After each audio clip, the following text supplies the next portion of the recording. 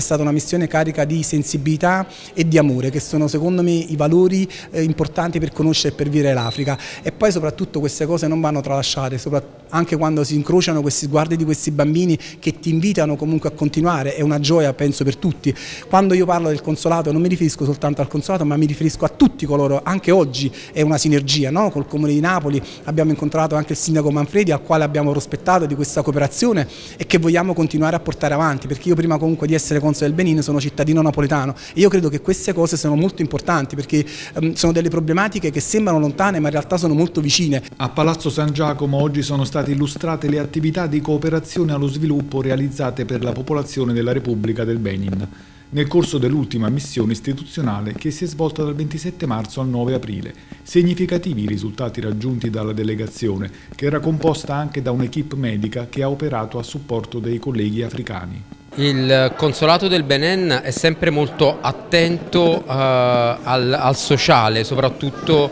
eh, nel creare il collegamento con Napoli a questo Stato eh, africano che ha veramente bisogno di essere aiutato. Io personalmente ci sono stato nel 2004, è stata un'attività di volontariato che ho vissuto per oltre un mese, ho lavorato eh, intensamente in un ospedale proprio eh, della Croix eh, a Zinvier e ho potuto sperimentare cosa significa portare solidarietà da Napoli, che è una città di un cuore immenso, eh, in paesi dove veramente eh, c'è bisogno di tutto. Un bilancio significativo di un'azione che è stata